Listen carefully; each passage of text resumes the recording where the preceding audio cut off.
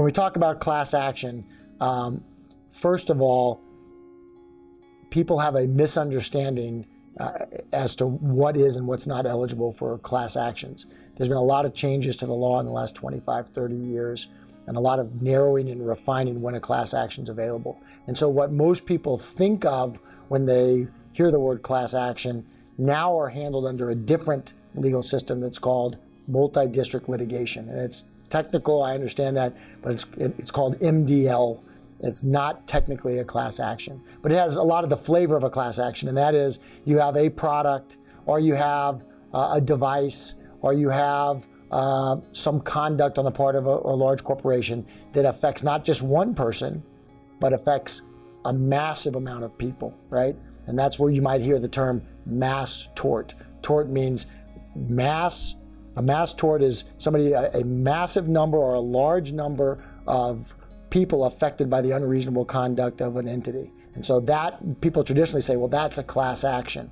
It's not technically a class action, but it's close. So it's okay for us to refer to it in general uh, under that topic. But it's technically, really, it's a multi-district litigation. And that is you here in Colorado might have been implanted with a medical device that's defective, along with 30,000 other people across the country or 5,000 people across the country.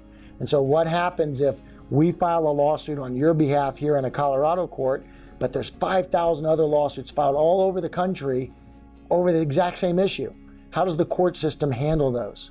How do we make sure that justice occurs for everybody who's been affected and make sure that the money is available to pay all of those people if we can prove liability? So what happens is the courts grab all of those 5,000 cases and they put them under one judge in one state in one federal jurisdiction, okay?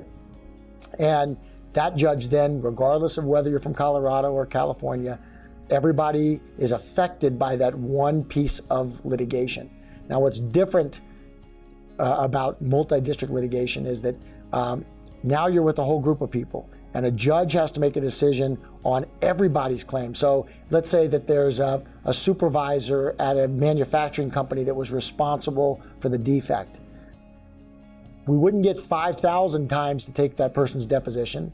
His deposition gets taken once and all 5,000 people get to use it. Okay? And so that helps with the efficiency of the court process. When the judge makes the decision, he's making it on all 5,000 cases. But we actually file your case separately.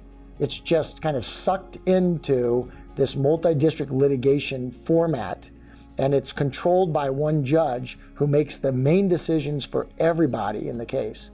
But if the cases don't resolve, they get sent back to your local federal courthouse for trial in your courthouse with your judges.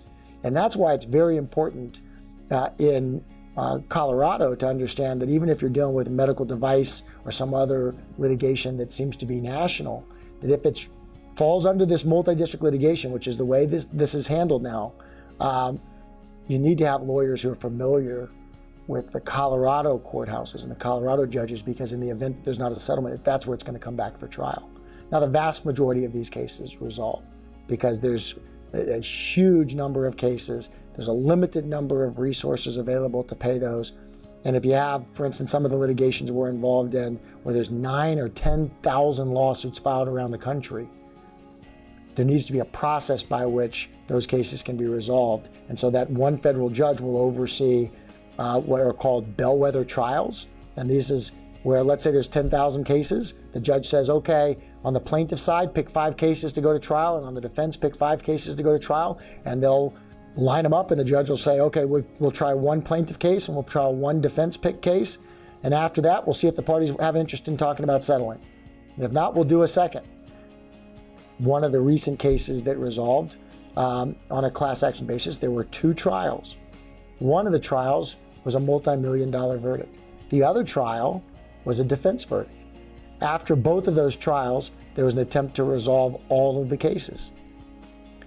If that bellwether trial system doesn't result in some good understanding as to what a jury is likely to do and therefore you know enable us to move forward with settlement discussions then the federal judge could make an election to say you know what? This group of cases isn't going to settle. Let's send them back to the local federal courthouse for trial